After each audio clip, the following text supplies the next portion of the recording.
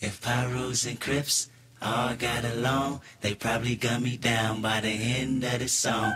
Seem like the whole city go against me. Every time I'm in the street, I hear yak, yak, yak, yak. Hey, it's Chelsea Evelyn here with Lexington Ave Sneaker Review. Today we'll be reviewing Kendrick Lamar's Reebok ventilators, as well as the Jordan 7 Bordeaux and the Ewing 33 Low. Once again, I'm here with Lex, owner of Lexington Ave, to give his opinions on the shoe. Thank you, Chelsea. So what Reebok and Kendrick did with this shoe is they took a chance. And I love that they did that. They took two rival gangs from Kendrick's hometown, Compton, California, and tied them together and tried to make it neutral. He doesn't, you know, he's not into that gangster life. He doesn't want kids living like that. And he's really taking a chance and hoping he can change that with a sneaker. This sneaker is so much more than a sneaker the overall quality on it, they nailed it. It comes with a buttery suede and a full leather insole. It says neutral under the tag, which I love. You know, gum sole, classic bottom. It's just a beautiful shoe. All right, so what would you rate this shoe out of 10? Chelsea, honestly, I'm gonna give this a 10. Kendrick, you killed it. I love the idea behind it, and hopefully it changes a lot of things. That would be amazing. 10, the first 10. And now we have the Jordan 7 Bordeaux. I was gonna review this shoe, but the homie Jim Duggan out of Edmonton did a review on this already.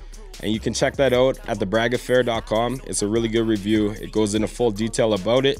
I'm not really a seven guy anyway, so this is cool to pass it on. And what would you give this shoe out of 10? I'll give it a 7.5. And now we have the Ewing 33 Low. So the Ewing 33 Low, I think, is a great idea from Ewing. It's one of my favorite models that they put out. The high is a lot of shoe for a big guy. Like I wear a size 12. When I'm wearing that shoe, it's like massive on me. So to take it to a low was a really good idea. White and gum is such a classic silhouette. Um, I actually decided I would paint my pair, and I went with the black and gum. Ewing is also really good for that. It's really affordable and the leather takes really well to paint. So it's a lot of fun to just customize. And what would you give that shoe out of 10?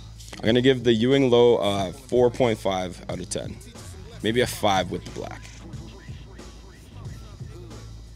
So there you have it. Lex gave the Kendrick Lamar Reebok ventilators a 10 out of 10, the Jordan 7 Bordeaux a 7.5 out of 10, and the Ewing 33 Low a 4.5 out of 10. Tune in next time when we review more hot releases.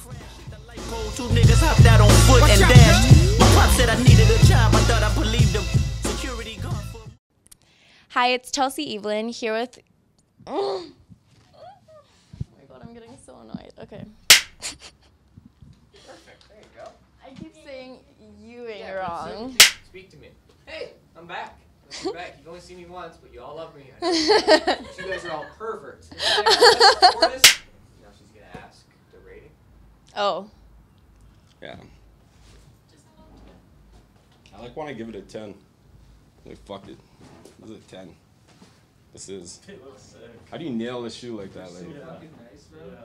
fuck it. Our first ten.